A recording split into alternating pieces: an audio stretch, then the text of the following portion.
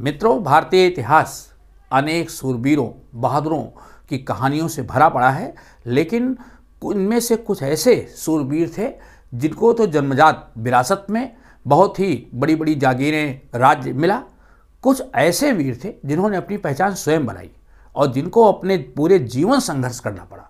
आज इसी प्रकार के संघर्ष वीर कर्मवीर और महान योद्धा बुंदेल केसरी छत्रसाल के बारे में आपको बतलाने चल रहे हैं।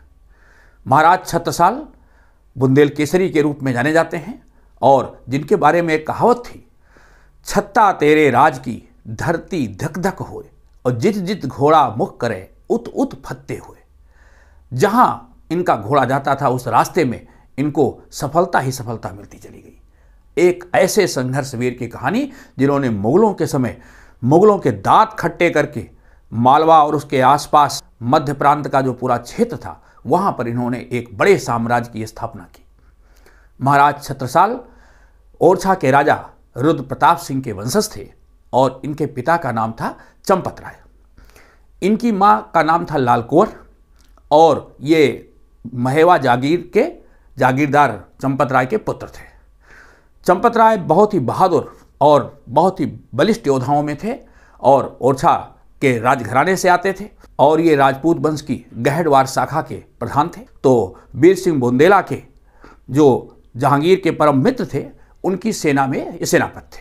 चंपत राय ने बाद में लेकिन मुगलों के साथ कई लड़ाइयाँ लड़ी। महाराज छत्रसाल का जन्म एक ऐसे ही वातावरण में हुआ, जहाँ उनको युद्धों की खनक के बीच में अपना जीवन बिताना पड़ा। तलवारों की खनक रणभेरी की आवाज़ और इसमें छत्रसाल का बचपन पला था। छत्रसाल का जब जन्म हुआ, उसके बाद चंपत राय की परेशानियाँ बढ़ती जा रही थी, क्योंकि मुगलों से इनको निरंतर संघर्ष करना पड़ता था। ऐसी स्थिति में चंपत राय ने अपने पुत्र छत्रसाल को अपने साले साहेब सिंह धुंधेला के पास, जो ललितपुर में देलवारा के पास रहते थे, वहाँ पढ़ने और युद्ध की शिक्षा के लिए भेज दिया। महारानी लाल कुंवर स्वयं चंपत राय के साथ युद्धस्थल में जाती थी और इसी प्रकार एक युद्ध में जहाँ चंपत राय जब मुगलों से घिर गए और उनको लगा कि मुगल सैनिक उनको और उनकी रानी लाल कुंवर दोनों को गिरफ़्तार कर लेंगे तो चंपत राय ने स्वयं अपनी कटार से अपनी रानी तथा अपनी स्वयं हत्या कर ली। उस समय छत्रसाल मात्र बारह वर्ष के थे। इनके बड़े भाई अंगद राय दोनों अपने मामा के यहाँ रहते थे। वहाँ से इनको मुगलों के साथ प्रतिशोध की भावना पैदा हुई। छत्रसाल ने अपनी शिक्षा दीक्षा, जो सैनिक शिक्षा अपने मामा के यहाँ से प्राप्त की। उसके बाद इनके बड़े भाई अंगद ने जयपुर के आमेर रियासत के राजा जयसिंह के यहाँ नौकरी कर ली। छत्रसाल ने भी उनके यहाँ कुछ दिनों के लिए राजपूत सेना में, सैनिक के रूप में अपना योगदान दिया।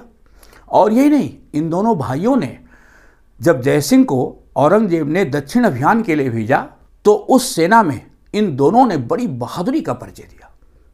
और जब पुरंदर की संधि हुई सोलह में, जयसिंह के नेतृत्व में मराठों की पराजय हो गई और शिवाजी को संधि करनी पड़ी तो उस युद्ध में इन दोनों भाइयों की बड़ी भारी भूमिका थी। लेकिन युद्ध के बाद मुगलों के साथ इनके संबंध अच्छे नहीं रहे। इन्होंने जयसिंह की सेना से दोनों भाइयों ने अपना त्याग पत्र दे करके अपनी स्वयं की सेना बना करके और ओरछा के आसपास जो महेवा की इनकी जागीर थी उस क्षेत्र में अपना स्वयं का राज्य स्थापित करने का प्रण लिया और मुगलों से प्रतिशोध लेने की ठान ली। अब छत्रसाल को मुगलों से प्रतिशोध लेना ही एक उद्देश्य बन गया और इसलिए उन्होंने शिवाजी से भेंट करनी चाहिए। शिवाजी से भेंट करना भी इतना आसान नहीं था, लेकिन साहस के धनी छत्रसाल ने किसी प्रकार शिवाजी से संबंध स्थापित करने और उनसे भेंट का मौका तलाश ही लिया। सोलह ईस्वी में दोनों वीरों की एक ऐतिहासिक भेंट हुई। शिवाजी और छत्रसाल दोनों मिले। शिवाजी को समर्थ गुरु रामदास का आशीर्वाद भी मिला और भवानी नामक तलवार शिवाजी ने छत्रसाल को भेंट की। और इन्हें कहा कि वो एक हिंदू राज्य की स्थापना बुंदेलखंड में करें। बुंदेला सरदार छत्रसाल महाराष्ट्र से बुंदेलखंड आए और इनके पास ज़्यादा संसाधन नहीं थे। इन्होंने अपने सीमित संसाधनों में कहते हैं कि माँ के जेवर को इन्होंने बेच करके केवल तीस घुड़सवार और लगभग 375 पैदल सैनिकों की एक छोटी सी टुकड़ी तैयार की। और इसके बाद इन्होंने अपने आसपास के इलाकों पर जो मूलों के क्षेत्र थे, उस पर आक्रमण करना चालू कर दिया। गुरिल्ला युद्ध करते थे।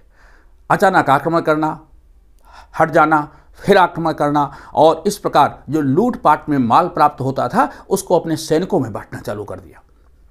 सबसे पहला आक्रमण इन्होंने अपने पिता के हत्यारों, जो धंधेर लोग थे, उनके ऊपर आक्रमण किया और उस लूटपाट में जो भी धनराशि मिली, सब सैनिकों में बांट दिया।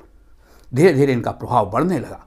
इन्होंने ग्वालियर और उसके आसपास के क्षेत्र में अपना प्रभाव स्थापित किया और वहाँ का जो सूबेदार था, हासिम खां, उसकी हत्या कर दी। हासिम खां की हत्या करने के बाद अब इनका अगला उद्देश्य था कि किसी प्रकार ग्वालियर के किले पर अधिकार किया जाए। और ग्वालियर का किला उस समय सूबेदार मनोवर खां के अधिकार में था। छत्रसाल ने ग्वालियर के किले पर आक्रमण किया और उस आक्रमण में मुनव्वर खां पराजित भी हुआ और इनको डेढ़ करोड़ से अधिक की धनराशि प्राप्त हुई। अब इनके पास काफ़ी धन दौलत भी आ गई, सेना बड़ी हो गई धीरे धीरे जो आसपास के राजपूत सरदार थे, वो इनके झंडे तले आने लगे। लेकिन औरंगज़ेब का माथा टनका। औरंगज़ेब ने देखा कि बुंदेलखंड में एक नई शक्ति उत्पन्न हो रही है। औरंगज़ेब ने छत्रसाल को नियंत्रित करने के लिए एक बहुत बहादुर जो मुगल सेनापत था, जिसका नाम था राहुल्ला खां, या जिसको रण दूल्हा कहा जाता था, तीस हज़ार की बड़ी सेना लेकर के भेजा। छत्रसाल ने पूरी बहादुरी के साथ सैनिकों को इकट्ठा किया और बार बार के आक्रमणों में राहुल्ला खां को पराजित किया। यही नहीं, जो और छोटे छोटे मुगल सेनापति थे, वो सब पराजित हुए। एक दो उसमें मारे गए, शेष दिल्ली की ओर भाग गए। अब छत्रसाल की पूरी धौस आसपास के इलाकों में बैठ गई। बुंदेलखंड का बहुत बड़ा इलाका, झांसी, हमीरपुर, महोबा, पन्ना, सागर, भिंड, मुरैना, ग्वालियर, ये सारा क्षेत्र छत्रसाल के झंडे के नीचे आ गया। कहते हैं कि इत यमुना उत नर्मदा, इत चंबल उत टोंस छत्रसाल से लड़न की रही नकाहू घोष। किसी भी मुगल सरदार हो, चाहे राजपूत सरदार हो, किसी की हिम्मत नहीं थी कि जो छत्रसाल को रोक सके। छत्रसाल का जो परचम था, बढ़ता जा रहा था। पूरे परवान पर था इनका ओज और जोश, और इसी समय इनकी भेंट एक आध्यात्मिक हिंदू धर्म गुरु जो प्रणामी संप्रदाय के थे, संत प्राणनाथ से हुई। समर्थ गुरु रामदास का आशीर्वाद तो इनको मिल ही गया था। बुंदेलखंड में, छतरपुर के जंगलों में तपस्या कर रहे स्वामी प्राणनाथ ने इनको आशीर्वाद दिया और इनको उन्होंने अपना शिष्य बना लिया। छत्रसाल ने उनसे विनय की तो उन्होंने अपने जीवन पर्यंत बुंदेलखंड में ही रहना स्वीकार किया और कहते हैं कि उन्होंने आशीर्वाद दिया कि तुम्हारे राज्य में हीरे ही हीरे पैदा हो। और उसका परिणाम है कि पन्ना की हीरे की खान इनके राज्य में उत्पन्न हुई। छत्रसाल ने उन्हीं के देख रेख में अपना राज्याभिषेक कराया और स्वामी प्राणनाथ ने इनको महाराजा की उपाधि। सोलह में इनकी प्राणनाथ स्वामी से भेंट और सोलह ईस्वी में छत्रसाल का सिंहासनारोहण हुआ। एक ऐसा सरदार जो कि मात्र जागीरदार से लेकर के अब महाराजा बन चुका था। उसके अधिकार में एक बहुत बड़ा इलाका आ चुका था। बड़ी सेना इकट्ठी थी। छत्रसाल ने दुश्मनों के दांत खट्टे कर दिए, लेकिन अभी संघर्ष का दौर बाकी था। औरंगज़ेब तो लड़ते लड़ते थक गया, लेकिन छत्रसाल के ऊपर नियंत्रण नहीं कर सका। औरंगज़ेब के बाद जब सत्रह सौ उनतीस ईस्वी में मोहम्मद शाह जब शासक बना तो उसने इलाहाबाद के सूबेदार बंगस खां को एक बड़ी सेना लेकर के छत्रसाल को नियंत्रित करने के लिए भेजा, जो आसपास के दतियाद के राजपूत सरदार थे। उस समय छत्रसाल की सहायता के लिए नहीं आए। स्वयं इनका जो बेटा था, इनके पाँच बेटे थे, उन बेटों में से हृदयनाथ जो था, वो भी थोड़ा उदासीन सा था। लेकिन इन्होंने उस समय एक सहायता पत्र लिखा। पेशवा, मराठा पेशवा बाजीराव प्रथम को इन्होंने लिखा, जो गति भई गजेंद्र की, सो गति पहुँची आए। बाजी जात बुंदेल की, बाजी राखो बाजी राव इन्होंने एक नम्र निवेदन किया कि अब संकट की घड़ी है बुंदेला सरदार छत्रसाल पर, आप ही हमारी इज़्ज़त बचा सकते हैं। और कहते हैं कि बाजीराव प्रथम एक बड़ी सेना लेकर के इनकी सहायता के लिए आया। बंगस खा बिना लड़े ही, युद्ध बिना लड़े ही उसने अपनी पराजय स्वीकार कर ली और बाजीराव प्रथम की सेना को देख करके ही भाग गया। छत्रसाल ने बाजीराव को अपना पुत्र घोषित किया और यही नहीं, महोबा के आसपास का लगभग एक बटा तीन अपना साम्राज्य। बाजीराव प्रथम को इन्होंने दिया। और छत्रसाल की दूसरी पत्नी थी रूहानी बेगम, उनकी बेटी थी मस्तानी। मस्तानी का विवाह भी बाजीराव प्रथम के साथ इन्होंने करवाया और छत्रसाल ने अपने जीवन में ही अपना पूरा साम्राज्य, अपने दो बेटे हृदय शाह और दूसरे जगत सिंह के बीच में विभाजित कर दिया। चौवालीस वर्ष का शासनकाल, बावन युद्ध इनके नाम दर्ज हैं। और अधिकांश युद्धों में इनको सफलता मिली। बयासी वर्ष का एक लंबा भरपूर जीवन जी करके बुंदेलखंड में अपनी यशोगाथा को स्थापित करके ये जो रणकेसरी बुंदेला सरदार था, सत्रह सौ इकतीस ईस्वी में उस परम ज्योति में समा गया। आज भी इनकी जो समाधि है, वो धुबेला, जो मध्य प्रदेश में छतरपुर के पास स्थित है, वहाँ पर चिर निद्रा में इस महान वीर की आत्मा चिर निद्रा में सो रही तो छत्रसाल एक ऐसे शासक, जो महान साम्राज्य निर्माता साथ साथ साहित्य के अनुरागी भी। छत्रसाल के दरबार में महाकवि भूषण लाल कवि, जिनका नाम था गोरेलाल, लाल कवि के नाम से लिखते थे। छत्रसाल दशक के लिखने वाले महाकवि भूषण ने कहा था, और राव राजा को ध्यान हूँ न लाई हूँ शिवा को सराहूँ या सराहूँ छत्रसार को। या तो मैं शिवाजी की प्रशंसा में गीत लिखूँगा या छत्रसाल की प्रशंसा में लिखूँगा।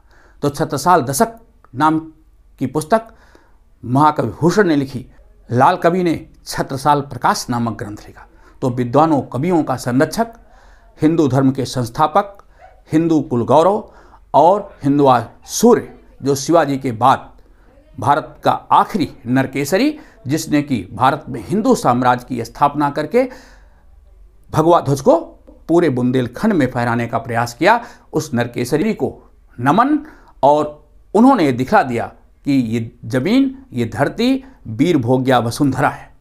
मित्रों, आपको वीडियो कैसा लगा? अपनी प्रतिक्रिया भी देंगे। विभिन्न जो सोशल मीडिया प्लेटफॉर्म हैं, उनसे आप हमसे जुड़ सकते हैं।